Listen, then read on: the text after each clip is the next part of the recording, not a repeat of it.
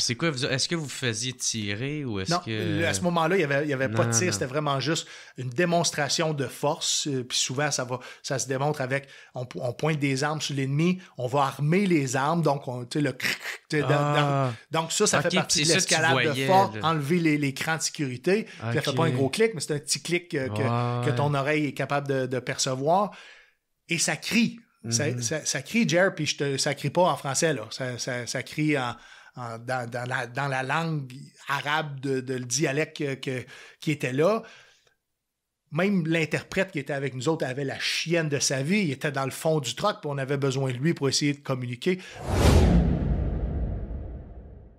Il y aurait autre chose que ces deux affaires-là? Parce que je sais que tu as aussi fait des, des missions tu sais, euh, à Kaboul, Kandahar aussi. Ouais. tu sais. Ma première mission, c'était en 2004 à Kaboul. Ouais. Et je te dirais que cette mission-là m'a préparé à vivre la, la- la- la- la mission la plus périlleuse que, que j'ai vécue. C'est la- ça a été le, le- le dernier dix mois en, en Afghanistan. C'est celui-là. Donc, je ne sais pas si j'ai été chanceux, mais c'était comme un crescendo pour moi, les, Mhm. les opérations overseas, dans le sens que ben, mon baptême de feu n'est pas venu dans ma première mission, c'est venu, venu plus tard. Ouais. Par contre, on- j'ai vécu des, des- des choses qui, qui m'ont, euh, ben, je veux dire, préparé à ce que j'allais vivre éventuellement, mais j'ai été dans des situations périlleuses aussi. Tu peux-tu dire quoi? Ou, euh, Ben, euh, euh, oui, oui, oui. Exemple, euh,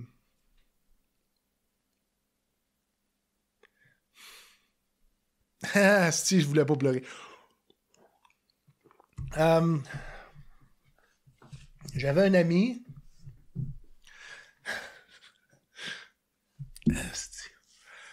Euh, qui est décédé aujourd'hui, qui s'appelle Ticu Poirier. Et, euh, ben, m'excuse. Euh, Mais non, il n'y a, a pas... de- TQ Poirier m'a sauvé la vie euh, dans ma mission en, en 2004, entre autres parce qu'à un moment donné, on, on s'en va, on a une mission d'aller dans, euh, dans un compound et, et on doit faire répertorier les- l'armement, entre autres des, des, euh, des véhicules antiaériens. Euh, euh, dans ce temps-là, c'était la, milice afghane qui, était là. Euh, c'est eux qui, étaient les, warlords des- secteurs. Puis on arrive là, puis ils veulent pas qu'on rentre, ils veulent pas qu'on aille faire notre travail. Et c'est là où est-ce que on a une escalade de la force, de, par nos règles d'engagement. On pointe les armes, mais on réalise que eux aussi ne veulent pas jusqu'à pointer les armes sur nous. Fait que là, on, on a, on a des armes euh, euh, du small arm et, et de l'arme anti-char qui sont pointées les uns sur les autres. Puis la distance, là, on, on est, euh, je sais pas, 10, 20 pieds de, de distance. Donc, l'émotion, tu, tu la vois dans ta face. La face du combattant, tu sais, je dis toujours, de, de, de tuer quelqu'un à distance, c'est pas pareil comme tuer quelqu'un quand tu es capable de voir la face de l'être humain. Euh, Les dommages que ça fait, tu sais. puis les dommages que ça fait. Euh, euh, mais cette situation-là faisait en sorte que c'est un show of force, mais tu sais jamais si il y a une tête brûlée qui, qui, qui, qui va partir les hostilités et ça aurait été un carnage. Ça aurait été un carnage à cause des armes, à cause du volume de, de, de feu qu'il y avait. Puis pas juste, on, est, on était, oui, on était avantagé de, de tous les points de vue dans cette mission-là au niveau des opérations, mais ce, ce soir-là, il était quand même bien équipé et prêt à nous recevoir. Et il ne voulait pas du tout qu'on aille faire notre travail. Et euh, moi, j'étais plus jeune dans ce temps-là. Et je- dans ma tête, je, je respectais les règles d'engagement si je le collais ça dans le chest tout de suite. Moi, c'est ce que je voulais. Euh, J'avais. J'étais sur le top d'un véhicule blindé, j'avais une C9 dans les mains. Puis je me souviens très bien d'avoir armé ma C9 et j'étais prêt à faire feu. Il n'y avait plus de cran de sécurité. Et c'est là où est-ce que je demande à TQ Je peux-tu tirer. J'étais assez fâché parce que c'est difficile à expliquer à quel point tu, peux, tu peux, je pouvais, je vais parler pour moi, je pouvais développer de, de l'agressivité, de la violence et de la haine à un point où est-ce que c'est, ça t'envahit quand ta vie peut être en danger que moi je voulais toutes les dégommer et je ne pensais même pas aux conséquences de toutes les autres alentours qui eux voulaient peut-être pas vivre ça. Mhm. Chris que je voulais tirer Jer. Je, Mhm. je voulais les descendre, je voulais lui donner une leçon, je voulais le montrer à, à quel point c'est pas eux autres qui allaient l'amener dans sa zone d'opération-là. Et euh, au final, j'ai rien fait. J'ai rien fait parce que j'ai respecté les ordres de mon chef de char, qui était mon chum du cul. Et euh, il y a eu une désescalade de la force.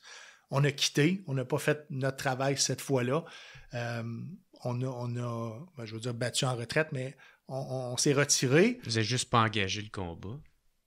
C'est ça? On n'a juste pas engagé le combat. Ouais. Euh, je me souviens pas encore qui, qui, était, euh, qui, qui était en charge du commandement à ce moment-là. C'est sûr que c'était pas euh, mon chef de char. Mon chef de char contrôlait son char. Euh, mais je peux te garantir que si moi j'avais fait à ma tête puis j'avais tiré dans le tas, ben, je serais probablement pas là aujourd'hui pour, pour, pour en parler. Euh, fait que, cet homme-là a euh, euh, sauvé ma vie. Cette situation-là, c'est une situation dans laquelle j'ai été qui, qui m'a été favorable plus tard quand j'ai rencontré une autre forme euh, euh, de, de, de- de confrontation comme ça. Ça n'a pas été la, dernière fois. Mm.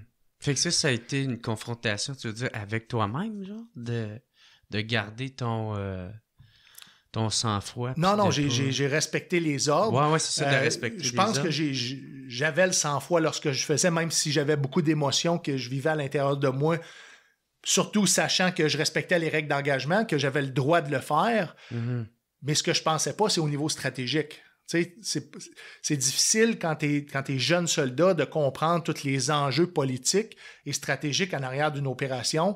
Et tu- pas j'étais prêt parce que je n'avais pas conscience, mais j'aurais probablement fucké toute la patente si j'avais pas respecté les ordres. Mhm. J'avais suivi mon instinct et mon droit de, de, de- de me défendre parce que l'intégrité de ma vie était, était menacée. Puis C'est quoi, est-ce que vous faisiez tirer ou est-ce Non, que. à ce moment-là, il n'y avait, il y avait pas de tir, c'était vraiment juste une démonstration de force. euh, Puis souvent, ça, va, ça se démontre avec, on, po- on pointe des armes sur l'ennemi, on va armer les armes, donc on, le Ah. dans- donc ça, ça Ok, fait partie de ça l'escalade de force, enlever les, les crans de sécurité. Puis elle fait Ok. pas un gros clic, mais c'est un petit clic euh, que, que ton oreille est capable de percevoir.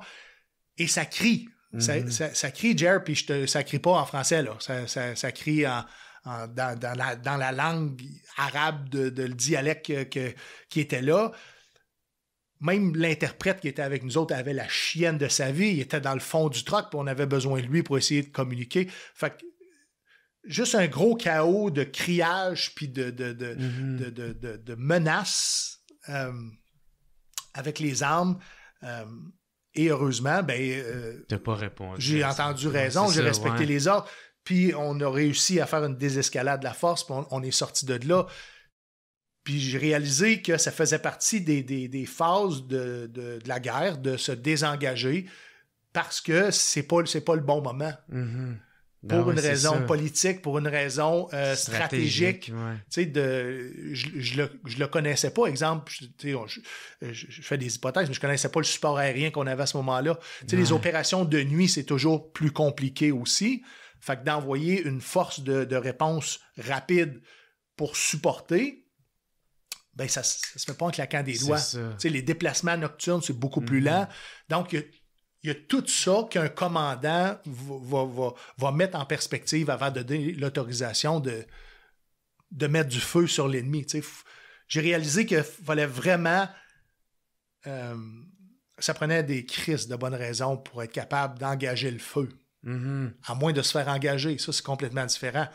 Mais d'initier un combat par le feu, euh, ça, ça demande énormément, énormément d'autorisation. Puis je me souviens à un moment donné, euh, je ne sais pas si tu te souviens, Karzai était au- au- aux commandes du pays, mais n'avait pas encore le contrôle des zones de guerre, surtout à ce moment-là avec la milice afghane. Et la milice afghane avait amorcé, euh, avait envoyé des chars vers le palais présidentiel pour aller justement renverser le gouvernement. Moi, à ce moment-là, j'étais sur l'équipe de, appelle ça le, Quick Reaction Force, et je me souviens qu'on s'était, s'était tous préparés. Moi, je pensais que j'allais vivre mon baptême du feu là. Mais c'était épeurant à un point que je savais que je m'en allais affronter des chars. Euh, C'était pas, c'était pas du petit calibre, c'est du gros calibre. Donc, c'est c'est des chars qui ont la capacité de, de, de, de, de- de, de, tuer un autre char, dans le fond, de, mhm. des chars d'assaut. Des chars d'assaut. Fait que là, c'était plus, c'était pas du petit calibre. Le, danger était vraiment là. Et aussi, au, travers de, toute cette, de toute cette avance, avance militaire, avance au front, ben, tu réalises qu'il y a un travail aussi politique et stratégique au niveau du commandement qui s'amorce aussi entre les, entre les, euh, les, commandants des, des, factions qui sont en opposition. Et puis toi, tu attends de voir qu'est-ce que le commandement va dire. Encore mhm. une fois, cette fois-là, on n'a pas été déployé, on est resté là, mais j'ai réalisé à quel point le politique avait un rôle à jouer dans les opérations militaires à cause de toute l'implication que, qu'un conflit ou qu'une bataille peut, euh, peut amener comme. comme... C'est fou à quel point j'ai compris des choses au niveau stratégique que je comprenais pas, qui faisaient pas partie non plus de mon entraînement de base. juste pas pensé. Et on était loin des forces spéciales rendues là. Mm-hmm. On était loin, j'étais au, au début de ma carrière.